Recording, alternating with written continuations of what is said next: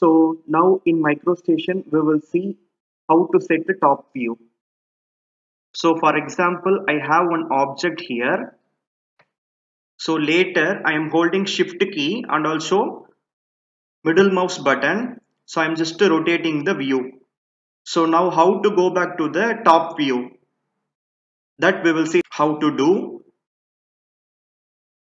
So for that you can just go for control T here you can type V then you can also see some of the list available. In this you also available with view rotation.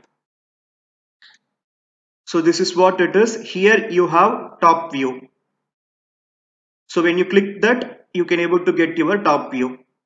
So again I will show how to rotate holding shift and middle mouse button so later, if you want to bring it back to the top view, then you can just click this icon. So if you want to keep this somewhere, you can just, uh, so keep somewhere. Otherwise, you can take from the toolbox. So for that shortcut is Control T. So this option we can also get from, so number 4 here here we have view rotation. So 2. So the shortcut is, so the shortcut is 462. When you hit 462, then it comes to the top view. So hereafter for top view, you can just enter 462.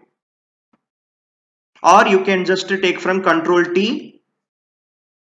Here you can type V, view rotation so here in this icons you can able to get from.